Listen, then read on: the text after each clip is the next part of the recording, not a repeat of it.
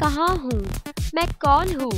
Yes, these filmy lines were uttered by the famous bad girl of television Tapasya Thakur, aka Rashmi Desai. Recently, when the actress got some time off from a hectic schedule, she decided to do something that most women do. Yup, you guessed it. She decided to go shopping.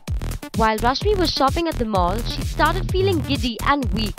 She fainted in a shop and was attended to there. To her surprise, the onlookers present at the mall started addressing her by her on-screen name Tapu.